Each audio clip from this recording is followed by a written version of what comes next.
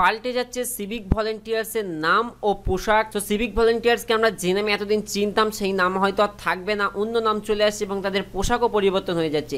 বিস্তারিত জানব, তার আগে বলে নিচ্ছি, তুমি যদি এখন আমাকে আন একাডেমিতে ফলো না করে থাকো, অবশ্যই ফলো করে নাও, কেননা আন একাডেমি একটি লার্নিং প্ল্যাটফর্ম সেখানে তোমরা সমস্ত চাকরির নোটস আপলোড পেয়ে যাবে। এখন থেকে তুমি আমাকে আন একাডেমিতে ফলো করতে পারবে। আন একাডেমি হচ্ছে একটি এডুকেশনাল প্ল্যাটফর্ম একটি অ্যাপস প্লে স্টোরে পাওয়া যায়। প্লে স্টোর থেকে এখনই অ্যাপসটি ডাউনলোড করো India's largest one educational platform তোমরা যদি এসএসসি জিডি কনস্টেবল কিংবা ফায়ার অপারেটর কিংবা পাবলিক সার্ভিস কমিশনের যে কোনো পরীক্ষার প্রস্তুতি নিতে চাও, ওখান থেকে নিতে পারবে। ওখানে সব ধরনের কোর্সের লেসেন আপলোড করা হয়। তোমরা সার্চ করো, আলামিন রহমান। ফের সিভিক ভলেন্টিয়ার্সের নাম পাল্টে হতে চলেছে জুনিয়র হোমগার্ড পাল্টে যাবে তাদের পোশাকও। এর আগে দুবার নাম পাল্টেছে। স্বরাষ্ট্র দপ্তর সূত্রে খবর, ডিজি বিজেন্দ্র সম্প্রতি স্বরাষ্ট্র সচিব অত্রি ভট্টাচার্যকে চিঠি দিয়ে সিভিক ভলেন্টিয়ার্স নামটি পাল্টানোর প্রস্তাব দেন। সেই প্রস্তাবে বলা হয়, সিভিক ভলেন্টিয়ার্সের পরিবর্তিত নাম হোক জুনিয়র হোমগার্ড। দু হাজার তেরো সালে লক্ষাধিক বেকার যুবক যুবতী পুলিশের সহযোগী হিসেবে নিয়োগ করায় রাজ্য সরকার। সেই সময় তাদের নাম দেওয়া হয়েছিল সিভিক পুলিশ ভলেন্টিয়ার্স।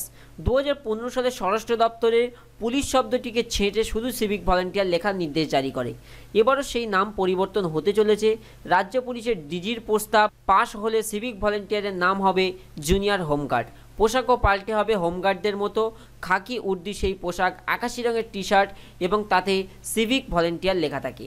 উল্লেখ্য, রাজ্যের পঞ্চায়েত নির্বাচনে রাজ্য পুলিশের পাশাপাশি সিভিক ভলেন্টিয়াররাও আইন শৃঙ্খলার কাজে নিয়োগ করা হয়েছিল। এর পরপরই মুখ্যমন্ত্রী মমতা বন্দ্যোপাধ্যায় ভলেন্টিয়ারদের বেতন পাঁচ হাজার পাঁচশো টাকা থেকে বাড়িয়ে আট হাজার টাকা করার ঘোষণা করেন।